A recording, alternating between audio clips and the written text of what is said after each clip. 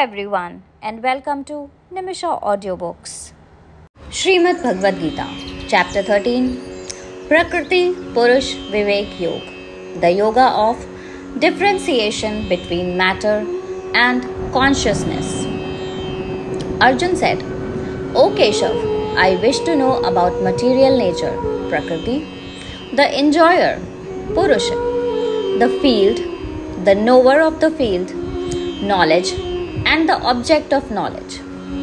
Bhagwan Sri Krishna replied, O son of Kunti Arjun, this body is known as the field, and one who knows this field is said by the wise to be the knower of the field.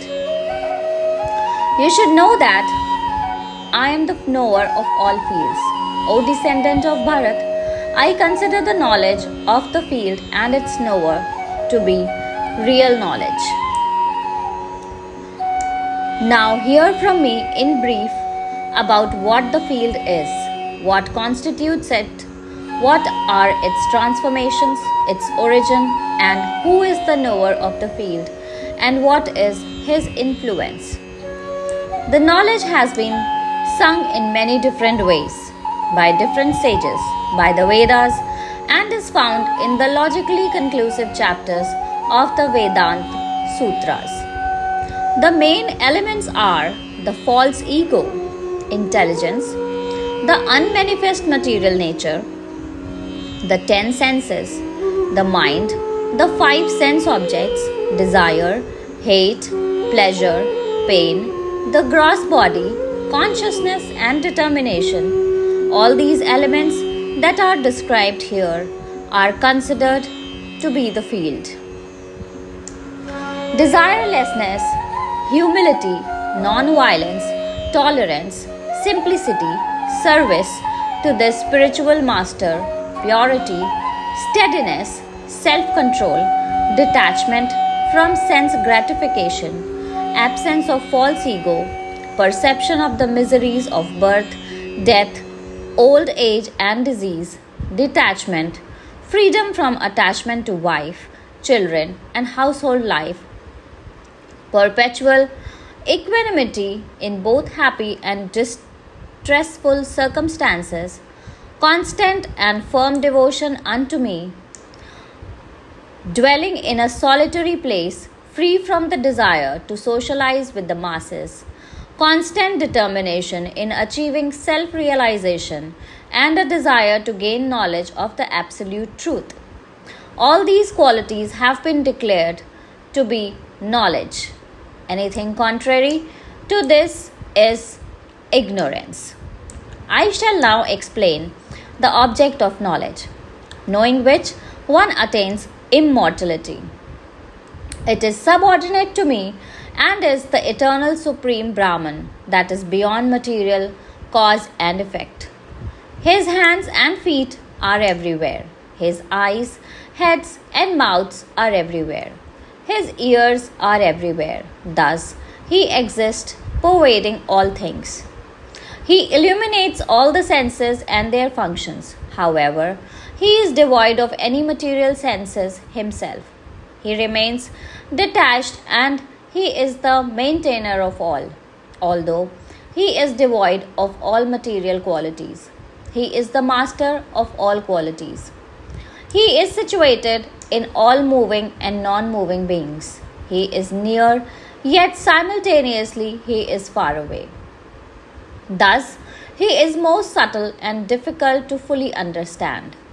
Although it seems that he is divided amongst all living beings, he is, in fact, undivided. He is to be known as the creator, maintainer, and destroyer. He is said to be the most brilliant of all luminaries beyond darkness. He is knowledge, the object of knowledge, and the aim of all knowledge. Thus, the field of activities, knowledge, and the object of knowledge have been briefly explained. By understanding these, my devotee attains love for me.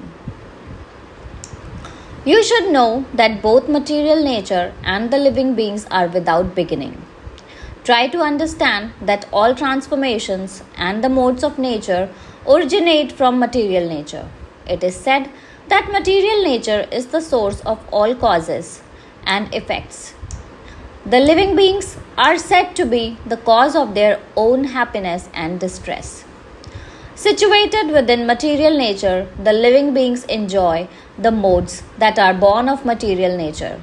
Due to the individual's association with these modes, the living beings take birth repeatedly within higher and lower species of life.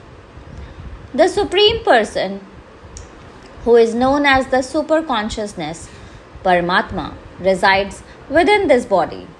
He is the witness of all things, the Supreme Authority, the Provider, the Maintainer, and the Ultimate Controller. Therefore, one who fully understands the Supreme Person, material nature, and the modes of material nature never takes birth again under any circumstances. Though, through meditation, some yogis glimpse the Supreme within the heart, others see him through the process of analysis, Sankhya, while others perceive him through Karma Yoga. There are also those that do not know these methods, but simply by hearing about him from others, they engage in his worship because they have faith in what they have heard. They too transcend death. You should understand that whatever exists, whether moving or non moving, is simply manifest from the combination of the field and the knower of the field, O best of the Bharat dynasty. One actually sees when he perceives the Supreme Controller as being situated in all living beings and realizes that neither the superconsciousness nor the individual unit of consciousness is perishable. By seeing the Supreme Person situated in all places equally, one does not become degraded. Thus, he attains the Supreme Abode.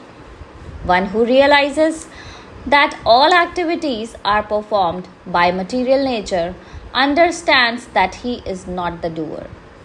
When one truly sees, he ceases to identify the body as the self.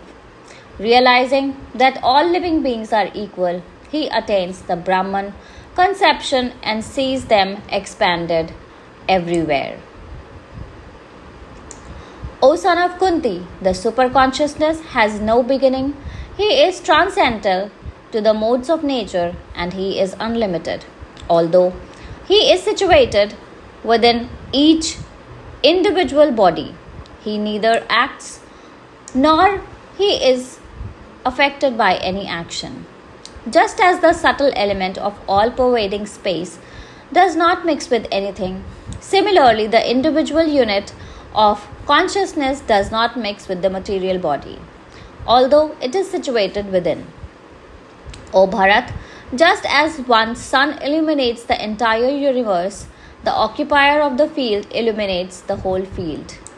One who knows and sees the difference between the body and the self and one who understands the process of liberation from material bondage also attains the supreme goal. Om Tat Sat.